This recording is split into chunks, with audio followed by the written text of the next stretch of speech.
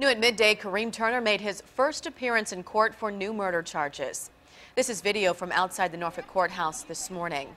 Turner and his family did not want to talk to us. The Commonwealth withdrew charges against Turner in 2010. Virginia Beach police said he may have murdered Officer Victor Decker. They said they'll be on the lookout for any new evidence that could bring back former charges. Norfolk police think Turner shot and killed 35-year-old Juan Glover Wednesday morning. They arrested him based on evidence at the scene.